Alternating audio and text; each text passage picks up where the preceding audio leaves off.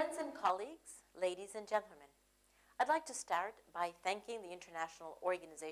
Mesdames et messieurs, je vous remercie de m'avoir euh, invité à participer à ce débat de haut niveau sur la mobilité humaine, l'environnement et le climat. J'aimerais également remercier l'OIM d'avoir intégré les questions environnementales et climatiques dans toutes les sphères euh, de son activité, ainsi que de recherche, d'élaboration de législation, renforcement des capacités et opérations. Il est primordial que toute organisation qui recherche une solution multilatérale à une question internationale adopte une approche holistique et intégrée.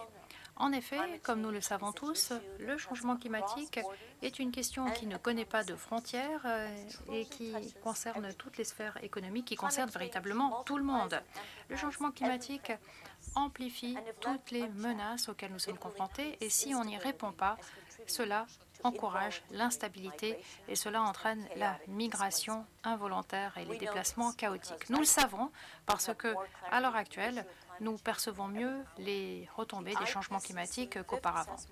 Le cinquième rapport du GIEC a indiqué quelles étaient les vulnérabilités de ceux qui étaient démunis et dépourvus de ressources qui devaient fuir les conséquences des changements euh, climatiques.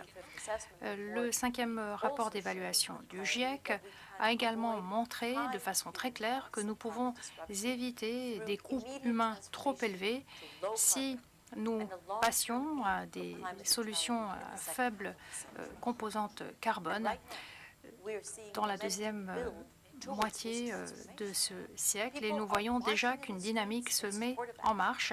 Les gens euh, manifestent pour marquer euh, leur attachement à ces solutions de remplacement. Les politiques locales et nationales, de plus en plus, visent à faire en sorte que la croissance ne se fasse pas au détriment du climat.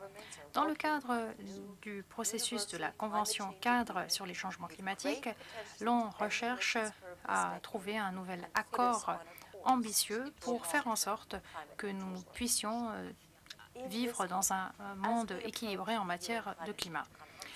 Alors que nous approchons de la conférence sur le climat de Lima en décembre, où l'on débattra de ces questions, puis on prolongera le débat à Paris en 2015, où un accord sera adopté, les gouvernements ont besoin de ressources pour euh, prendre des actions déterminées. Mesdames et messieurs, je vous demanderai de donner au gouvernement ses arguments et ses ressources.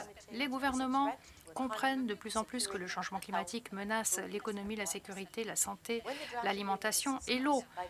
Lorsque les ministres des différents gouvernements débattront de ce projet d'accord, ils devront bien comprendre qu'il y a également des raisons migratoires qui doivent pousser à l'action. Le fait de dissocier les considérations euh, climatiques des catastrophes euh, naturelles est parfois difficile, mais euh, l'analyse du phénomène s'améliore.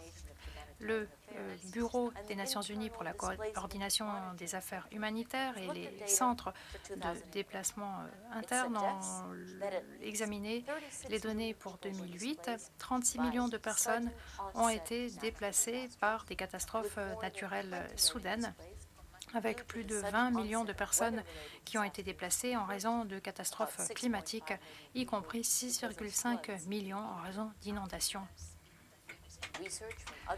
Nous avons d'autres données qui suggèrent que des millions de personnes euh, ont également été déplacées chaque année en raison euh, de catastrophes climatiques plus lentes comme les sécheresses. Euh, Les forces armées sont également préoccupées. Le ministère de la Défense américain a publié un rapport cette année sur le changement climatique en examinant les préoccupations pour la sécurité à l'avenir. La fonte des glaciers euh, va euh, compromettre l'approvisionnement en eau dans différentes régions, c'est Chuck Hagel qui l'a dit, et la conférence euh, permettra de débattre de ce rapport. Il a ajouté que les dégâts causés par les typhons et les ouragans ainsi que les pertes de culture et de terres agricoles risquent de priver des millions de personnes de leurs sources de revenus et entraîner des migrations de masse. L'OIM comprend qu'il est nécessaire de mobiliser des ressources pour opérer des choix politiques idoines et a pris les mesures nécessaires pour que ces ressources se mobilisent je vous encourage à poursuivre sur cette voie et à plaider la cause de l'examen des migrations dans cette perspective plus générale et à mobiliser les ressources. Les ressources existent, elles commencent à arriver, mais les gouvernements doivent s'engager pour euh, faire en sorte que le développement euh, neutre sur le plan du climat soit une réalité. Vous pouvez nous aider en mobilisant la volonté euh, politique et en faisant en sorte que l'on adopte des cibles d'atténuation euh, utiles. Ce qui exige de gérer l'immigration pour stabiliser le euh, climat et pour favoriser des pratiques équilibrées. Nous avons des possibilités de préserver nos trésors nationaux, de faire en sorte que les communautés restent dans leur euh, lieu d'habitation en toute sécurité et de faire en sorte de préserver le climat pour les générations futures. Nous devons saisir cette occasion maintenant et nous devons le faire ensemble. Je vous remercie et j'attends avec intérêt de pouvoir prendre connaissance du résultat de cette réunion. Um, eh bien,